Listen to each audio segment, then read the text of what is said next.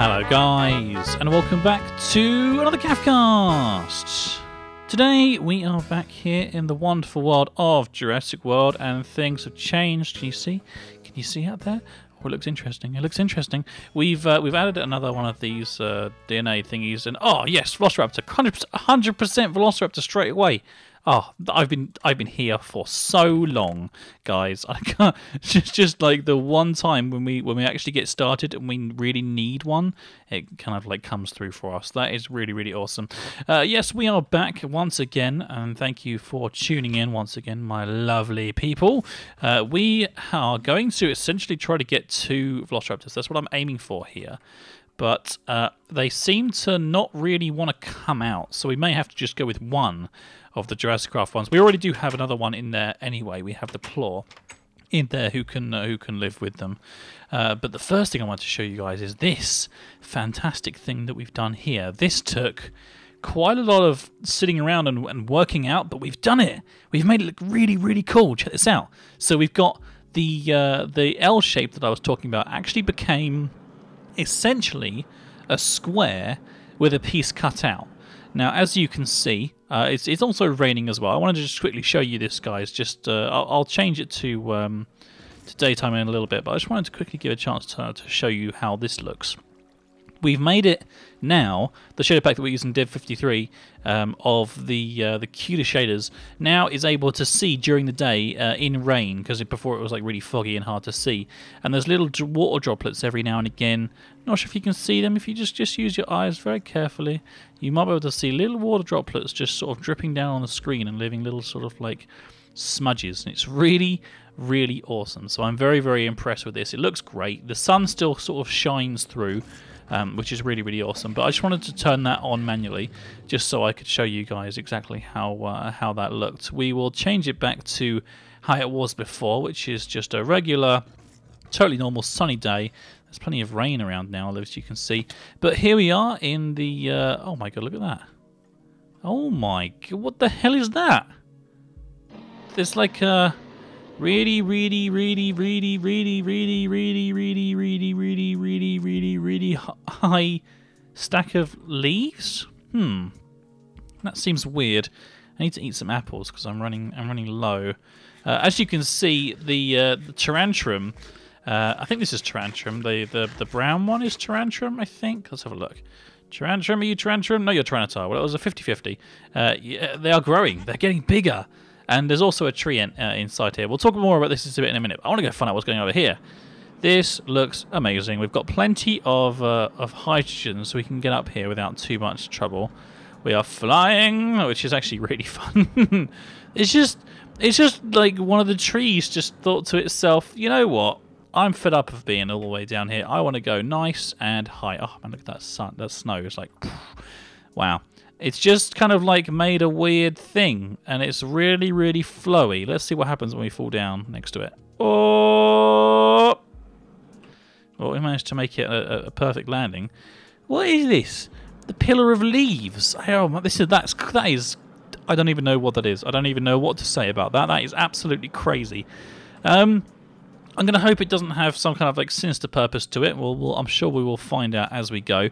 Anyway, as you guys can see, we've done a little bit of uh, sort of picking away at the uh, at the land that we've got here, and it actually looks really, really good. We've got the the road now. What I've done here is I've worked out how wide this is, needs to be five wide to be able to take all the sort of trees that we have going around with this this current setup thing that we've got here, this current grid system.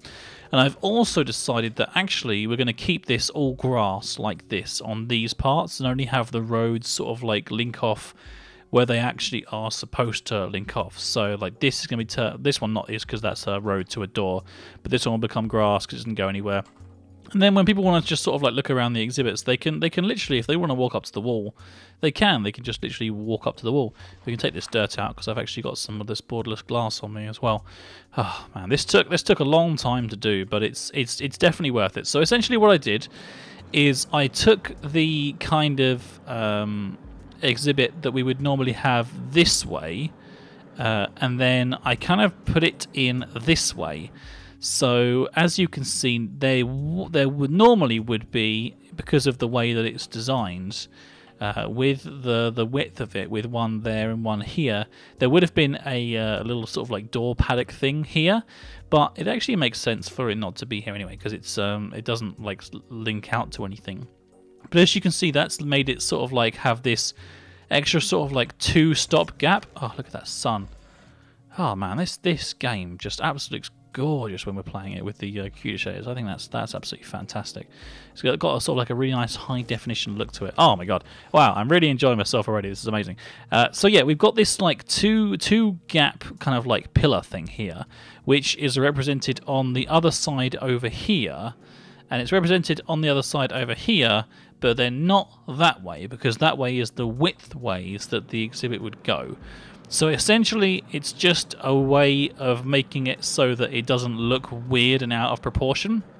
But as you can see, it's the perfect shape for a square, bar this small section here, but that means that it's actually designed in such a way that whenever we want to have any roads going around it or along or down or anything like that, they all connect up absolutely perfectly.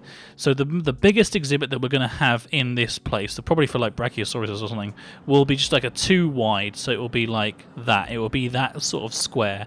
Because all this is is the the same width as it is length, and then it's just got a bit cut out. And then the, the, the larger one will be the same width, the same length, just a giant square, essentially, which I think makes a whole lot of sense. Now, one other thing that I decided to do uh, or not do whilst I was uh, I was off of camera, I went to go and do a bit of redwood um, tree chopping down uh, over that way. There's a redwood forest, and uh, and I got a few saplings. I didn't get loads, but I got a few saplings to bring back just so we could work. We could spend a bit of time working on putting a couple of uh, of trees up here for our fantastic Tyrannosauruses because they kind of are a bit exposed. And this Ent over here, he seems to just be enjoying decorating the the, the T Rex exhibit, and nobody's eating him.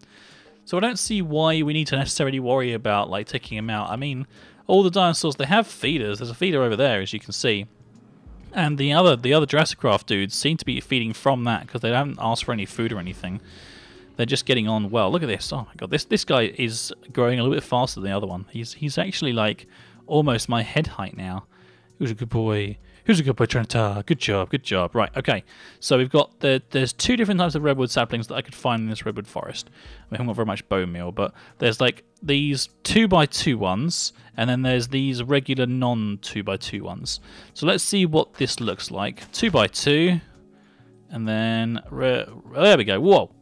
Oh wow, yeah, that's that's that's exactly what they were like in the other in the other forest. So I was thinking some of these, like really, really awesome, massive redwood trees, will just kind of like give them a little bit of shelter and, and stuff, and then sort of just have a few smaller ones just sort of dotted in every now and again.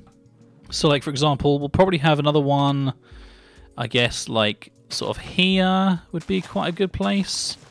There we go, and bone meal, and bone meal, and bone meal, and bone meal, and bone meal. And by meal. Oh, it's not gonna grow. Okay, well we'll just leave that. We'll just leave that. I'm sure. I'm sure it will grow eventually. That one is just bloody massive. Um, we'll have another one here, and then we'll have another one like over here somewhere. I guess. Uh, and then we'll probably have let's just look sort of having them spaced out a little. One there, one there, one there, one there. Maybe sort of like one just at the very edge of the exhibit over here because it casts quite a, quite a nice big shadow, which is pretty cool. Um, so if we have one, one just sort of like, let's just say one here. I think that's quite a cool place for another one. Bam! I tried to use another bone meal, but it didn't work. We've actually got like a load of bone meal in, indoors, so let's go get some of that. I'm going to put down some of these smaller redwood saplings as well, just in case they will grow as we go. We'll have to uh, we'll have to cut down them and, and gain some more saplings out of it if we can. I'm also going to quickly get this egg out of here.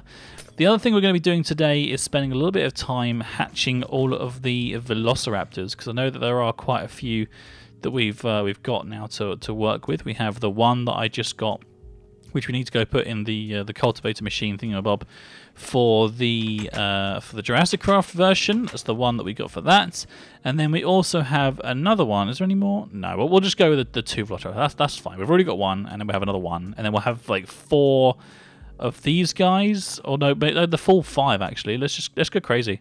Let's do it. Why not? One, two. These didn't Failosaurus, which is good. Three. Um, not that one.